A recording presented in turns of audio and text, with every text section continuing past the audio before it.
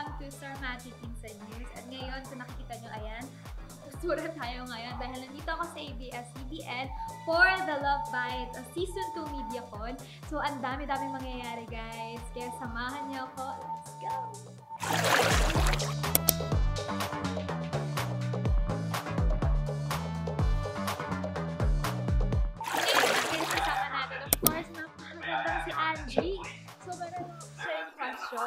Bakit kailangan panoorin yung episode na pala?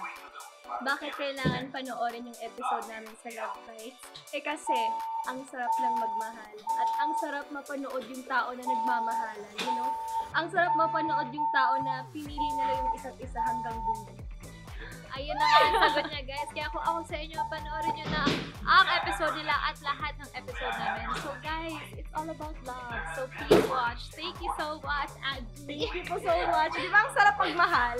Welcome na welcome po tayong lahat dito sa ating Love by Season 2 Grand Media Con.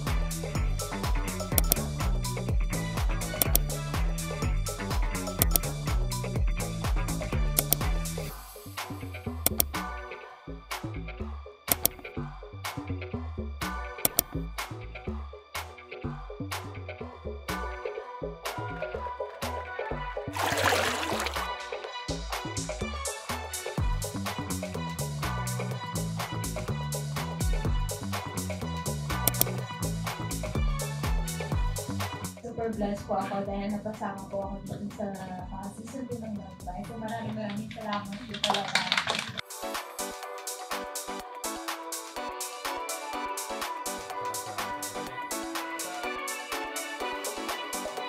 Okay guys, I'm back and now pang kasama dito sa Love Bites. Of course, Jo Marie, meron lang ako sa'yo question. Ang question ko sa'yo is, kamusta yung experience mo working at Love Bites? Ah, working with love. Sobrang gaan, sobrang gaan kasi si Majo yung partner ko. Actually, second time na namin to na mag-work together. Kaya sobrang excited ako nung nalaman ko na ikaw yung partner ko. Kasi alam naman natin napakagaling na artista. Galing mo na.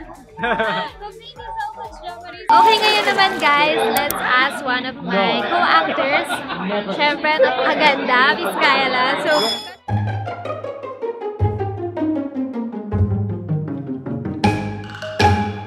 Ito lang how was your working experience with your Love Bites? Super saya, super saya to work with everybody. Um, I wasn't working with all of them, pero nagkakasama kaming lahat. Sobrang sayang grupo. Um, ang ganda ng kwento namin, and also it's lovely working with Joao and Chi. So sana abangan ninyo yung episode namin. Ayan guys, thank you so much guys. Thank Kung you, tayo Madam. nagpa-Friday guys, babalik ako later. Yung experience po sa akin and tulad ko nasabi ni Kuya Enzo, it's very light. Sobrang chill lang po. we were having fun. Tsaka yung mga team directors, uh, they they were super chill about uh, like pinaglaro lang kami. Then we had to experiment. Sobrang na-appreciate ko naman sa team po, tsaka sa Pila Direct. Sa binibigyan po nila kami ng freedom. Tsaka kaya nakita ko po bawat artist po lahat po kami. Napakita talaga namin yung creative side namin. It was fun kasi first time ko makatrabaho si Kaya at si Chi. Um, napakasaya at napakadali lang uh, makatrabaho with them.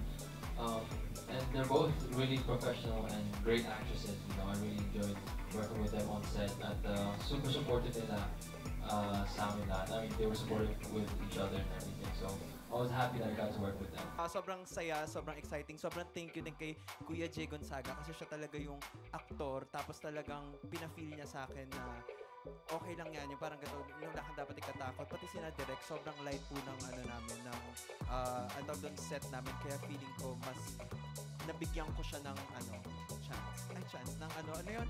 ng justice. Ng justice. ng chance.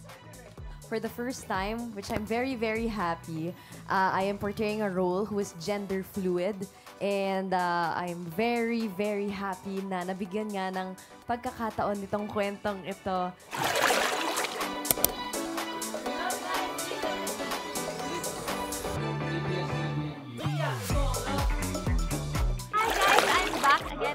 Again. I'm a joy. Ah, sana nag-enjoy kayo sa aming MediaCon and napakilala ko na sa inyo yung iba naming co-artists. So abangan niyo po ang Love Bites dahil marami po kayong makikita makikilala and marami kayong matututunan dahil iba't ibang stories. Ito, pasensya na medyo maingay ngayon, pero please, um, sana, sana supportahan nyo Love Bites every Friday, 6 p.m. Thank you so much!